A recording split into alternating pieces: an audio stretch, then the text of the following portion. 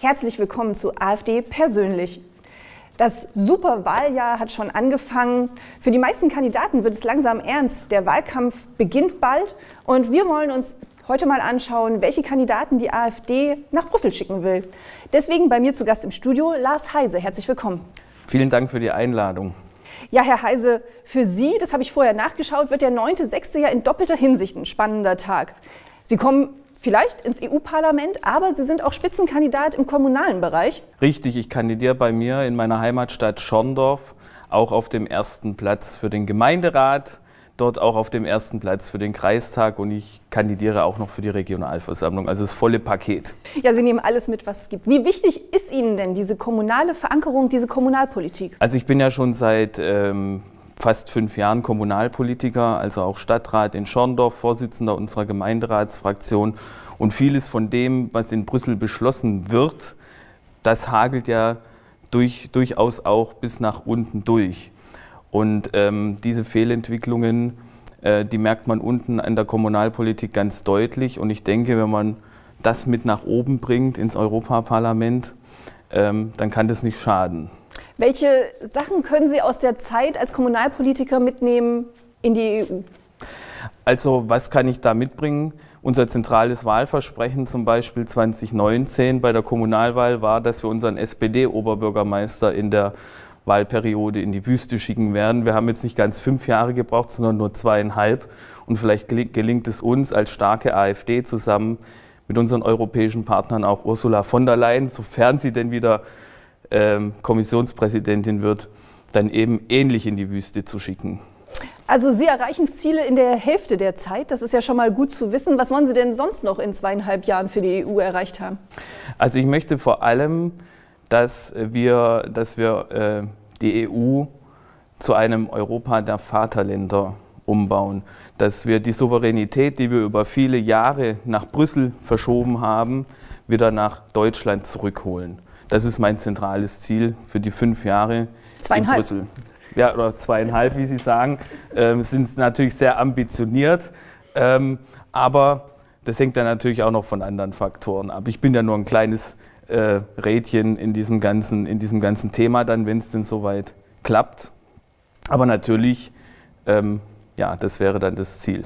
Rädchen ist ein gutes Stichwort. Sie sind Lokomotivführer von Beruf. Ja. Was können Sie von Ihrer Tätigkeit mitnehmen? Sie sitzen ganz vorne und der Zug fährt so, wie Sie wollen? Was ich von meiner Tätigkeit mitnehmen kann, ist, dass auch äh, Brüssel ganz viele ähm, Ursachen liefert, warum der Bahnverkehr in Deutschland einfach nicht funktioniert. Also wir haben natürlich originäre Probleme bei der Deutschen Bahn, die sind hausgemacht. Aber dazu kommen dann eben auch noch durch Überregulierung, die aus Brüssel kommen, eben noch weitere Probleme. Und ähm, ich möchte vor allem mich im Europaparlament dann auch der Verkehrspolitik ähm, verschreiben und natürlich auch den Arbeitern eine Stimme geben. Weil wenn man elf Jahre im Schichtdienst morgens, mittags und nachts durchgearbeitet hat, ich glaube, diese Stimmen braucht man in Brüssel noch viel mehr. Ja, und in der Politik können Sie sich ja auch, äh, Sie sind ja dann schon dran gewöhnt an das Dreischichtsystem, das werden Sie dann ja auch brauchen. Ne? Richtig, habe ich auch überhaupt kein Problem damit, zu jeder Tages- und Nachtzeit für unser Land aktiv zu sein. Wieso sind Sie ausgerechnet zur AfD gekommen? Hätte es nicht auch irgendeine andere Partei sein können? Was waren da die ausschlaggebenden Gründe? Also tatsächlich kommen wir da wieder zu meinem Beruf zurück als Lokomotivführer.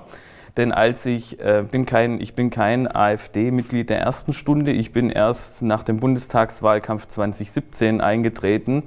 Und der Ausschlag war tatsächlich ein Wahlkampfauftritt unserer damaligen Spitzenkandidatin Alice Weidel in meiner Heimat ich bin da eigentlich in die politische Resignation äh, quasi eingekehrt und habe dann auch viele Jahre gar nicht gewählt, habe sogar ähm, auch die ersten Jahre keine AfD gewählt, weil ich einfach nicht mehr daran geglaubt habe, dass es eine politische Kraft geben könnte, die unser Land wieder vom Kopf auf die Füße stellen könnte. Und dieser Auftritt von Alice Weidel damals, der hat dieses Feuer in, der hat dieses Feuer in mir einfach noch mal frisch entfacht und Jetzt kommen wir zu meinem Beruf. Zu dem damaligen Zeitpunkt war ich als Lokführer im Nahverkehr bei der S-Bahn eingesetzt in Stuttgart. Das heißt, die Folgen der illegalen Massenmigration, die wir von 2015 fortfolgend erlebt haben, das habe ich im Brennglas in meinem Fahrgastraum hinter mir erleben dürfen, wohin diese illegale Massenmigration führt. Bei uns in Baden-Württemberg war das die ersten Jahre hauptsächlich in die, äh, in die Großstädte ähm, verlagert, diese Themen, die heute aber auch in den Speckgürtel von Stuttgart herumgreifen, also in die Landkreise oder in den Landkreis, in dem ich zum Beispiel auch lebe. Und das war einer der Gründe, warum ich dann beschlossen habe, 2017 in die AfD einzutreten, tatsächlich. Aber auch die Euro- und EU-kritische Haltung der Partei, denn lange bevor es die AfD gab, war ich auch schon bei den äh, verschiedenen Euro-Rettungsdemonstrationen, den Gegendemonstrationen dazu aktiv gewesen. Was ich einen Lokführer schon immer mal fragen wollte, fahren Sie auch privat mit dem Zug oder regt Sie diese Verspätungstyrannei der Deutschen Bahn dann auch selber auf? Tatsächlich bin ich heute auch oder gestern schon mit der Bahn nach Berlin angereist. Ähm,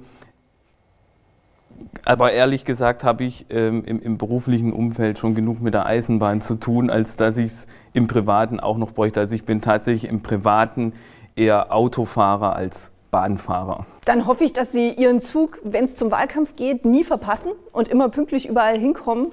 Eben auch mit dem Auto, mit dem Verbrenner natürlich, nicht wahr? Richtig. danke, dass Sie heute bei mir im Studio waren und danke, dass Sie zugeschaut haben. Wir sehen uns demnächst wieder bei AfD persönlich.